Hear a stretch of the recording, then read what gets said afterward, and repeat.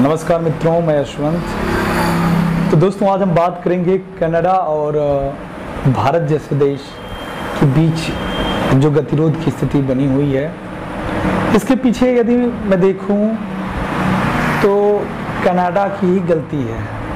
मैं ही नहीं, तमाम अंतर्राष्ट्रीय मंचों से जिस प्रकार से कई देश कह रहे हैं। आप सोचिए, क्या हमें पाकिस्तान में जिस प्रकार से वहाँ आतंकवादी फल फूल रहे हैं, जिस प्रकार से पाकिस्तान आर्मी, पाकिस्तान गवर्नमेंट वहाँ के आतंकवादियों को, अलगाववादियों को पोषण देने का काम कर रही है, उसके बाद उन्हीं लोगों के माध्यम से दूसरे देश में हिंसा फैला रही है, आतंक आतंकवादी हमले किए जा रहे हैं, ये बात पूरी दुनिया जानती है।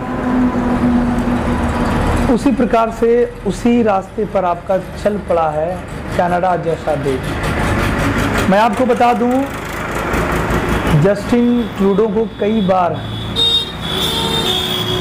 कई बार जो है ये संदेश दिया गया भारत जैसे देश की तरफ़ से कि आपके सरजमी पर हमारे ही देश के कुछ भागे हुए भगौड़े, आतंकवादी, ठीक, आपके देश से गलत मैसेज प्रचारित कर रहे हैं, किस प्रकार से हमारे देश को अलगाववाद की तरफ़ ले जा रहे हैं। हमारे ही देश के एक अभिन्न अंग को, भाग को, जिसका नाम पंजाब है, उसको खालिस्तान में तब्दील करने का प्रयास कर रहे हैं, अलगाववादी मानसिकता से पोषित कर रहे हैं। अभी आपने देखा होगा तीन चार महीने पहले जिस प्रकार से अमृतपाल सिंह, सामान्य परिवार का एक लड़का अमृतपाल सिंह उसके बाद एक बड़ी आर्मी बनाता है और पंजाब जैसे प्रांत को किस प्रकार से अस्थिर कर दिया था। फिर बाद में जाके केंद्र सरकार हस्तक्षेप करती है। इस मसविदे को एक उमदा लेवल पर ले जाकर आज देखिए सारा पंजाब शांत कर दिया गया। आपने देखा होगा कि कई सारे ऐसे लोग हैं, जब उनकी लिप संलिप्तता जो है कि पूरी तरह से ज़ाहिर हो जाती है। तो वो फिर बाद में बताते हैं कि भैया, हमें कुछ पैसे मिले थे, हमें ऊपर से निर्देश मिला था। ऊपर से निर्देश का मतलब ये है कि कनाडा से। सोचिए, हरदीप सिंह निज्जर एक ऐसा व्यक्ति जो 2008 में भारत जैसे देश में भगोड़ा घोषित होता है, तमाम तरह के मुकदमे उसके ऊपर लादे जाते हैं। और जिनमें उसकी वास्तविक संलिप्तता पाई जाती है। उसके बाद वो जमानत पे बाहर आता है। नकली या कहें फेक पासपोर्ट और वीज़ा बना के हमारा देश छोड़कर कनाडा चला जाता है। मतलब इतनी आसानी से आपके देश में शरण ली जा सकती है। भारत जैसे देश, भारत ने क्या किया? तमाम डॉक्यूमेंट्स जो हरदीप सिंह निज्जर जो है, उसको प्रमाणित कर सके। भैया, ये हमारे देश का भागा हुआ आतंकी है।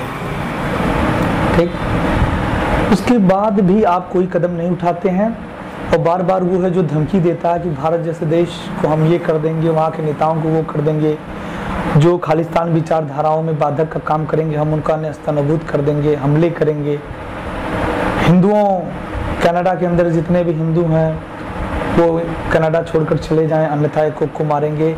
यहाँ तक कि आपने एम्बेसी वाणिज्य एजेंसी में जो लोग काम करते हैं, राजदूतों को आपने निशाना बनाने का प्रयास किया, मारा, हमारे राष्ट्रीय ध्वज का आपने अपमान किया, हिंदुओं के ऊपर ऊपर आपने कई सारे वार किए, इतना सब कुछ होने के बाद भी वहाँ की सरकार आपको प्रोटेक्ट कर रही है?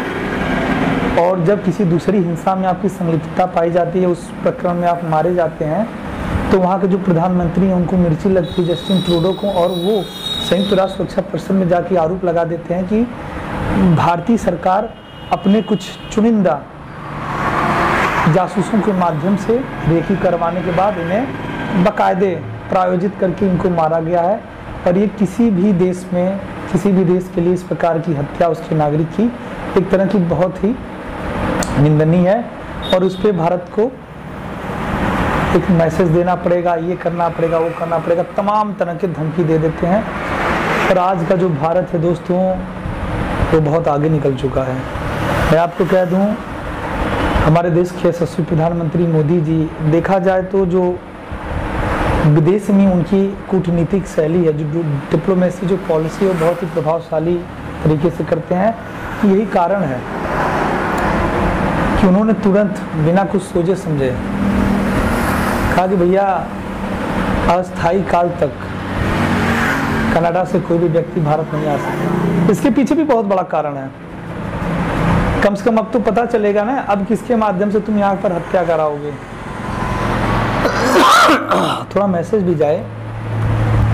और अमेरिका जैसा देश, जो उसका रवैया है ना, गीदड़ की तरह और वो उसे सपोर्ट कर रहा है, कह रहा है हाँ जो कनाडा की जो गुप्तचर सेवाएँ, जो विभाग हैं, जिस प्रकार से पुष्टि कर रहे हैं, उसमें कुछ न कुछ संलिप्तता तो है भारत जैसे देश की। और भारत जैसे देश को कनाडा के लोगों के साथ, जो ऑफिशियल लोग हैं ऑफिसर उनके साथ सहयोग करना चाहिए और इस घटना की जाँच करनी चाहिए क्या वास्तव में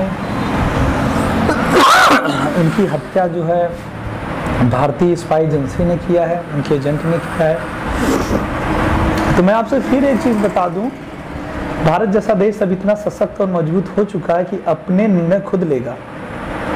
बहुत अंतर्राष्ट्रीय सभाएँ बनी हुई हैं, अंतर्राष्ट्रीय संघ बना हुआ है कि एक देश दूसरे देश के ऊपर हमला नहीं करेगा, उसका उत्पीड़न नहीं करेगा। यदि करेगा तो उसको हमने स्थानुभूत कर देंगे। बहा सही। नार्को, क्या है? नाटो कितना बड़ा ऑर्गेनाइजेशन है। आज उसने क्या किया?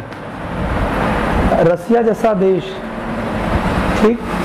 जिसने धमकी दिया यूक्रेन जैसे देश को यदि आप नाटो का सदस्यता ग्रहण करेंगे तो हम आपको खत्म कर देंगे।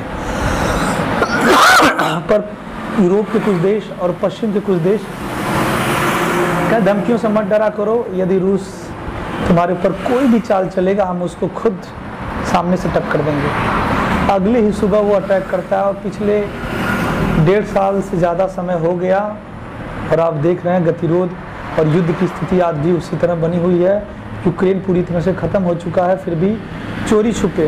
पीछे के दरवाजे से कुछ पश्चिमी देश, कुछ यूरोप के देश उसे आर्थिक और सैन्य रूप से मदद पहुँचा रहे हैं, फिर भी उनकी स्थिति दयनीय है। कोई भी राष्ट्र सीना ठोंक के सामने नहीं आ सकता कि हम इसे मदद करें, क्योंकि वो जानते हैं, रूस जैसा देश बहुत ही ताकतवर है, महाशक्तिशाली देश है, किसी को भी किसी को भी अगर अपने लपेट में ले लेगा ना, जो लड़ रहा, जो कीचड़ में है, जो युद्ध की स्थिति में है, जो खुला चैलेंज दे रहा है किसी भी राष्ट्र को, वो आपसे नहीं डरेगा। और यही कारण है। सोचिए, उत्तर कोरिया का जो किम जोंग शासक है, कनाडा के राष्ट्रपति से जाके मिलता है, और दोनों में सैन्य व्यापार होता है। सारे देश कह रहे थे, नहीं, इनको ये कर दिया जाएगा, प्रतिबंध लगा दिया जाएगा। किसी ने कुछ नहीं उखाड़ पाया। तो इसीलिए भारत जैसे देश को भी डरने की आवश्यकता नहीं ये लोग बस ऐसे ही फूकेंगे बोलेंगे और कुछ कर नहीं पाएँगे। जितनी कनाडा की पॉपुलेशन है ना, उतना तो हमारे एक गाँव की है, एक ज़िले की है। इसलिए तो आज के लिए इतना ही। नमस्कार। जय हिंद। धन्यवाद।